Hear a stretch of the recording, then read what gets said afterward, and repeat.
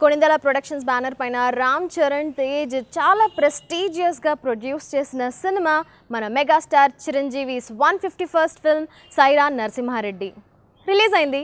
ఎలా ఉందో చెప్పేస్తా. Hi this is Kajal and welcome to India glitz movie review India కోసం ఫ్రీడమ్ని తీసుకురావడానికి చాలామంది ఫ్రీడమ్ ఫైటర్స్ చరిత్రలో ఉన్నారు. కానీ అసలు చరిత్రలో ఎక్కడ కనుమరుగైపోయిన ఉయ్యాలవాడ నరసింహారెడ్డి గారి జీవిత చరిత్ర ఆధారంగా తీసిన ఈ సినిమాని ఖచ్చితంగా ప్రతి ఒక్కరు చూడాలి. ఎందుకంటే హిస్టరీలో హిస్టరీ పేజెస్లో మనకి మిస్సింగ్గా నిలిచిన స్టోరీ ఇది. సో ఈ స్టోరీలో ఈ క్యారెక్టర్కి మన మెగాస్టార్ చిరంజీవి ఈజ్ యాప్ట్ అన్న ఫీలింగ్ వచ్చింది సినిమా చూస్తున్నంతసేపు.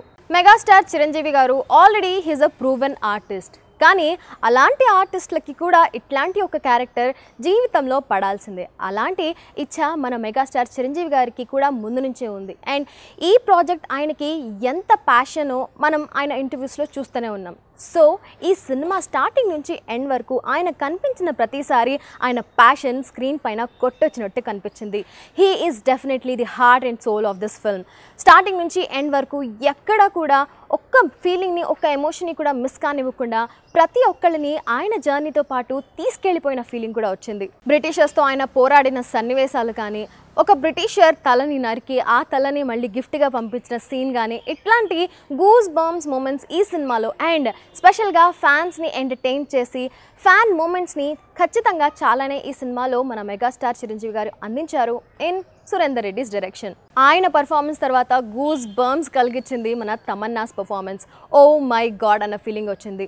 ఫస్ట్ హాఫ్లో తమన్నా కనిపించిన కొన్ని కొన్ని సీన్స్లో ఈ సీన్ అక్కర్లేదేమో అన్న ఫీలింగ్ వచ్చినప్పటికీ సెకండ్ హాఫ్లో తన సాక్రిఫైస్ వాజ్ మైండ్ బ్లోయింగ్ అన్ని క్యారెక్టర్స్లో కల్లా తమన్నా క్యారెక్టర్కి ఎక్కువ ట్విస్ట్ ఉన్నట్టు అనిపించింది. నయనతారది సింపుల్ బ్యూటిఫుల్ వైఫ్ క్యారెక్టర్ అయినప్పటికీ ఆమె ఇంపాక్ట్ ఆమె పర్ఫార్మెన్స్ ఇంపాక్ట్ ఖచ్చితంగా సినిమా పైన కనిపిస్తుంది. కానీ తమన్నా అండ్ నయనతార ఇద్దరు క్యారెక్టర్స్ని కంపేర్ చేస్తే కనుక అఫ్ కోర్స్ కంపేర్ చేయకూడదు. కానీ as a common moviegoer compare చేస్తే కనుక తమన్నా క్యారెక్టర్ నాకు ఇంకా ఎక్కువ ఇంపాక్ట్ చూపించినట్టు. ఆమె క్యారెక్టర్కి ఉన్న ట్విస్ట్ స్క్రీన్ పైన అందరినీ ప్రెజెన్స్ ఆమె ప్రెజెన్స్ని ఫీల్ అయ్యేటట్టు చేసింది అనిపించింది. తమన్నా తర్వాత ఖచ్చితంగా మాట్లాడుకోవాల్సింది కిచ్చా సుదీప్ క్యారెక్టర్ గురించి.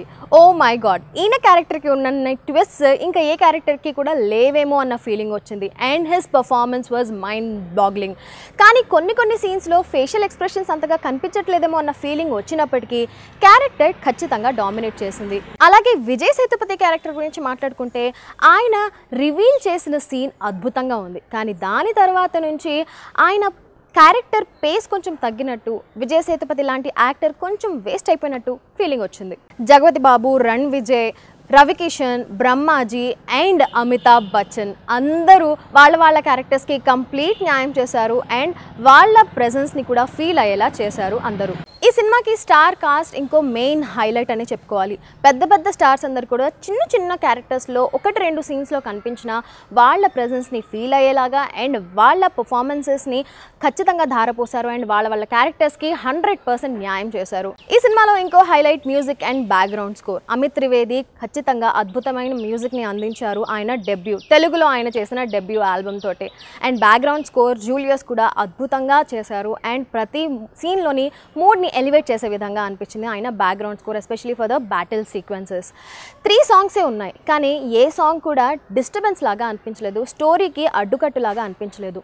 అండ్ సైరా టైటిల్ సాంగ్ ఖచ్చితంగా అందరికీ గుర్తుండిపోయే సినిమా గూస్ బంప్స్ తెప్పించే సాంగ్ సినిమా నరేషన్ స్టార్ట్ అవుతుంది power star Pawan Kalyan's powerful voice తోటి. కానీ అక్కడి నుంచి లీడ్ తీసుకుంటుంది అనుష్క శెట్టిస్ పవర్ఫుల్ క్యారెక్టర్ ఆ సీన్ అండ్ ఆ character and Anushka Shetty's performance చాలా పవర్ఫుల్గా అనిపించినప్పటికీ నరేషన్ అలా కాకుండా ఇంకా వేరేలాగా ఉండుంటే బాగుండేది అన్న ఫీలింగ్ వచ్చింది. ఈ సీన్ అండ్ ఈ నరేషన్స్ ఎస్పెషల్లీ కొంచెం ఫోర్స్ఫుల్గా అనిపించింది. ఇలా కాకుండా ఇంకా వేరేలాగా ఉండుంటే ఖచ్చితంగా అద్భుతంగా ఉండేది.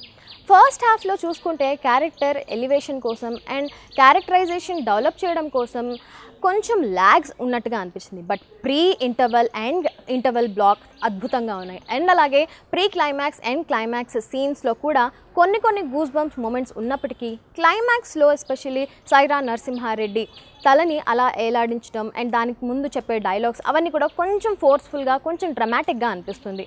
సినిమా స్టోరీ లైన్ మొత్తం సింపుల్ అందరికీ తెలిసిందే. కానీ సినిమా స్టోరీ లైన్ చాలా ప్రెడిక్టబుల్గా ఉండడం కూడా ఈ సినిమాకి ఒక చిన్న మైనస్ పాయింట్గా మనం వ్యవహరించవచ్చు సినిమాలో ప్రతి ఫ్రేమ్ చాలా రిచ్గా అనిపిస్తుంది. దీనికి కారణం కొణిదల ప్రొడక్షన్స్ ప్రొడక్షన్ వాల్యూస్ ఒకటైతే ఇంకొకటి రత్నవేలుస్ అద్భుతమైన సినిమాటోగ్రఫీ ప్రతి ఫ్రేమ్ ఒక బ్యూటిఫుల్ పెయింటింగ్ లాగా అనిపిస్తుంది. విజువల్స్ అన్నీ అద్భుతంగా ఉన్నాయి. విఎఫ్ఎక్స్ కూడా ఎక్కడ పేరు పెట్టే విధంగా లేవు. అన్నీ పర్ఫెక్ట్గా ఉన్నాయి.